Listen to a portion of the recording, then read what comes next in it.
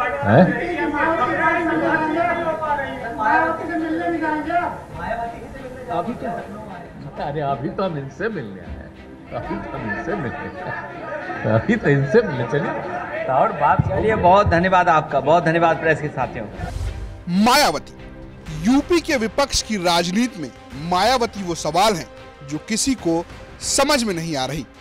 एक और अखिलेश यादव देशव्यापी गठबंधन का हिस्सा बनते नज़र आ रहे हैं। तो वहीं यूपी में वोट शेयर के हिसाब से विपक्ष की दूसरी बड़ी पार्टी बसपा और उसकी मुखिया मायावती से दूरी बनाते नज़र आ रहे हैं।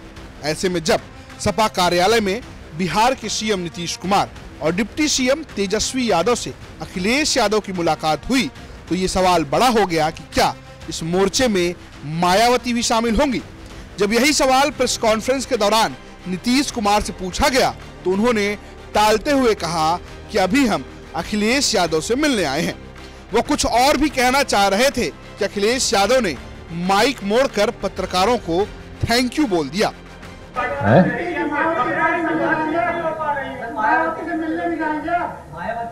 अभी तो अरे अभी तो हम इनसे मिलने आए हैं।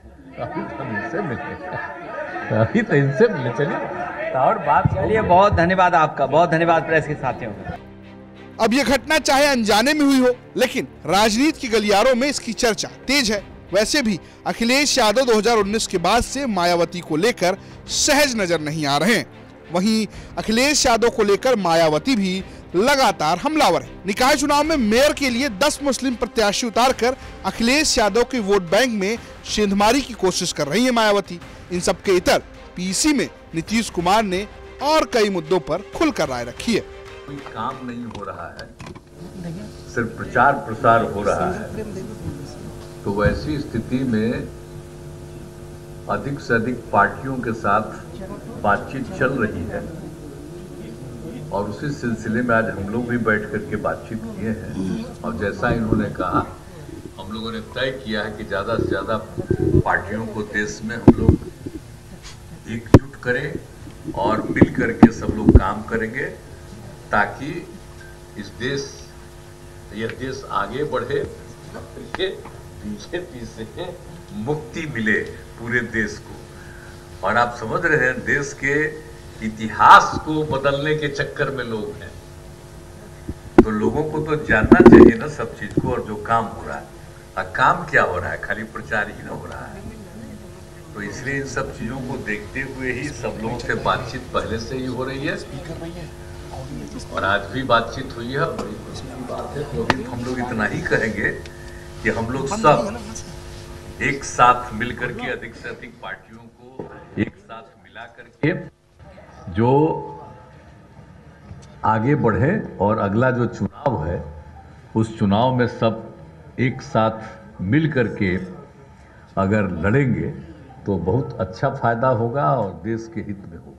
तो इसी दृष्टिकोण से बातचीत हो गई जो आपको कहा, हम सब लोग आए हुए हैं तो मिल करके हम लोग सब काम करेंगे, ये बात हो गई है। और हम लोगों का संबंध जो है, इस राज्य से उत्तर प्रदेश क्या समझ रहे हैं आप? जो जो हम लोग बिहार के हैं तो हम लोगों का तो रिश्ता ऐसे ही शुरू से है, एकजुट है। है? समाजवादी है। बोलिए ना तो हम लोग का तो एक ही ना पुराना रिश्ता है। तो इसीलिए हम लोगों का तो खैर है ही। और मिलजुल करके तो हम लोग चलेंगे ही। लेकिन पूरे देश के अन्य जगहों के हित में भी हम लोगों ने बातचीत किया है कि अन्य जो पार्टियाँ हैं, सबके साथ बात करके और उसको एकजुट करेंगे। यही बात हुई, इसी के लिए आए हैं आप लोगों के साथ और अच्छा हुआ, अच्छी बातचीत हुई है। बहुत ठीक रहा है। नहीं, वो तो देखिए, सब लोग एकजुट हो जाएँगे तो नेता बनेंगे, जो भी बनेंगे, काम करेंगे और देश के हित में काम करेंगे। और एक चीज़ हम बता देते हैं, अपने बारे में बता देते हैं, हमको नहीं बनना है। ये अच्छी तरह जान लीजिए, हम सबको खाली एकजुट करने में लगे। अपने लिए हमको नहीं कुछ चाहिए, हम देश के हित में काम करेंगे। और बाकी सब लोग होंगे, दूसरे लोग होंगे, सब बैठ करके तय करेंगे। अरे नहीं भाई अब तो अरे तो हम लोग तो उनके शिष्य हैं न जी। हम लोग तो आंदोलन उन्हीं के नेतृत्व में न रहे हैं। तो इसलिए वो तो बात स्वीकार किए। हम लोग जब स्टूडेंट थे और उस समय जब किए ये बैठे इनके पिताजी और हम लोग सब साथ थे और मान उनको हम लोगों ने अनुरोध किया वो मान लिया वही उन्हीं के नेतृत्व हुआ है। हो गया बिल बात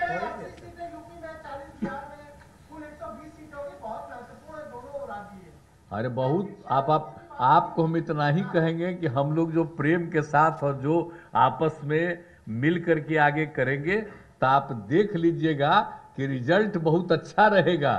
और जो लोग जो लोग समझ रहे हैं, जो अपना राज करने के चक्कर में तरह तरह का और लोगों को परेशान करते हैं तो ये सब कुछ नहीं उनका होने वाला है। और हम लोग समूचे लोग मिलके जो काम करेंगे तो आप जो यूपी या बिहारे का सोच रहे हैं ना तो जितना सोच रहे हैं उसका अधिकतम इधर ही रहेगा।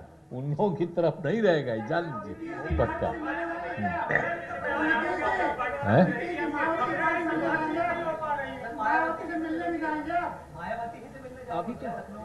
अरे अभी तो हम इनसे मिलने आए हैं। अभी तो हम इनसे मिलने अभी तो इनसे मिलने चलिए और बात चलिए बहुत धन्यवाद आपका बहुत धन्यवाद प्रेस के साथियों का। ब्यूरो रिपोर्ट यूपी तक।